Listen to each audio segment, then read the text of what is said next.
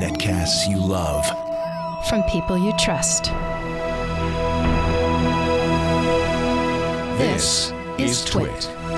Well, folks, I'm a little excited about this next review. We've been holding on to this for a month. Back at CES in January, we got a chance to go to a booth run by XYZ Printing, and they showed us some of the greatest 3D printers on the market, including the Da Vinci, the one that is the best-selling 3D printer out there, and one that's actually very easy to service. Well, they had a new product, one that we focused on, the Da Vinci Junior, which promised to sell for much less than the original and give all of the same features. Well, they sent it to us, and we've been playing with it for a month.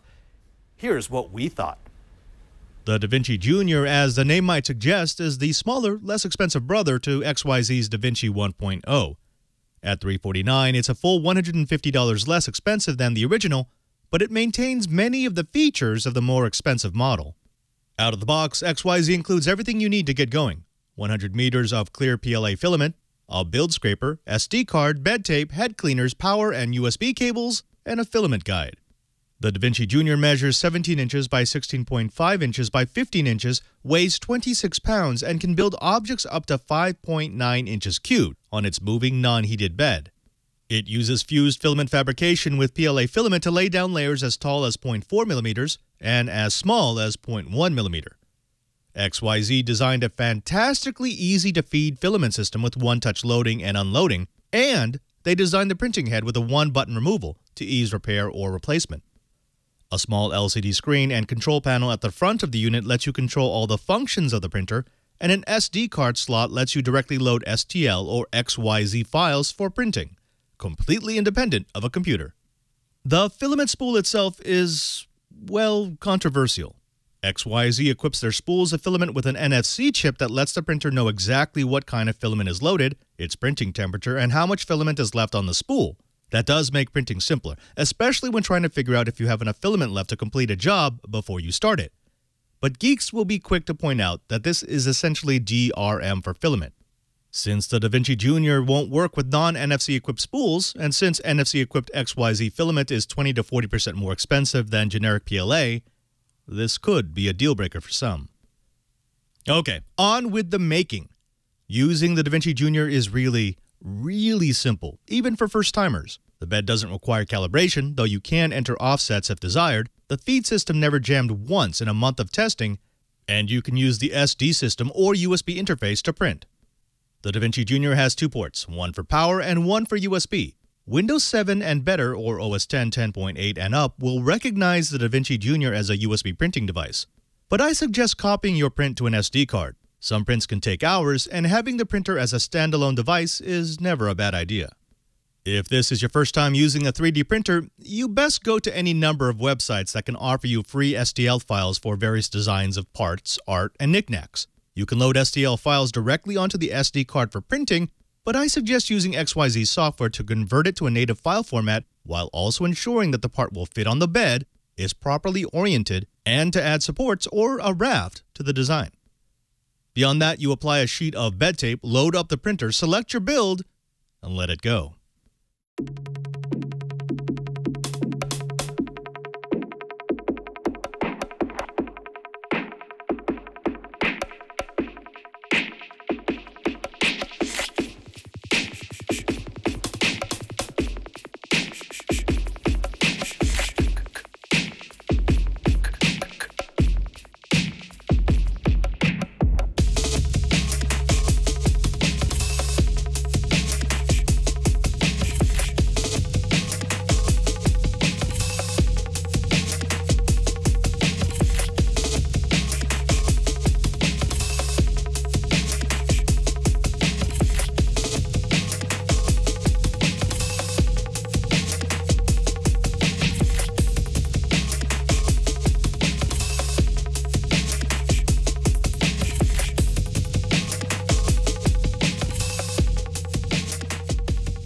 There is something marvelous about watching parts being built before your eyes, and it's not just a novelty.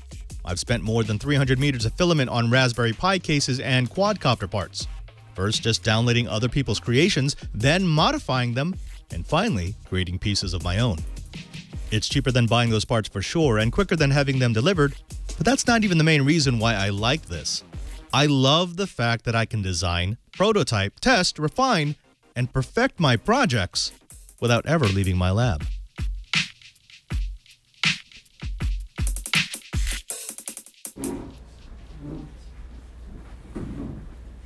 I have had so much fun with this printer over the last month. I, again, it's just that idea of, of seeing things come to life before your eyes. And again, the whole idea of having something like the Da Vinci Junior is that you give beginners a place to start. This is not the five or six or eight hundred dollar 3D printer. This is 349. And with that 349, you get most of the capabilities that you're going to get with the bigger brother. Everything from a really high precision movable bed, non-heated bed by the way, to that easily removable head so that if you do have a jam, it's, it's, it's nice and easy to clear. I mean, anyone who owns a 3D printer is going to tell you that head jams are one of the biggest problems. This makes it easy to clear out. Now, on the pro side, of course, it's going to be price. 349 is a great starting point. I also like the fact that it can work completely independently of a computer. You just use that uh, the SD card here, and uh, essentially this becomes its own building workstation.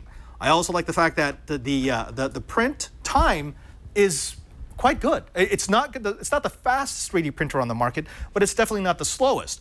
And I also like the fact that with uh, with the use of standard file formats, I can get things from the XYZ uh, uh, website, from the Thingiverse. Essentially, any place I can find 3D prints, I can find something that I can print on my XYZ printer. On the con side, the no-brainer has got to be the DRM on the filament. Now, I know they don't call it DRM, but that's essentially what it is.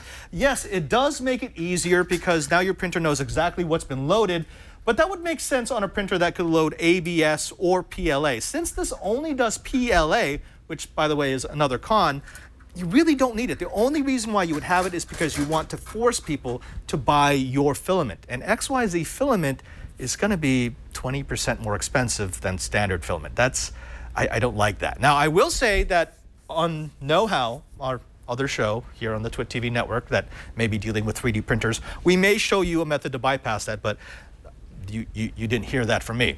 The other con is probably going to be the size. 5.9 inches is nice for the bed.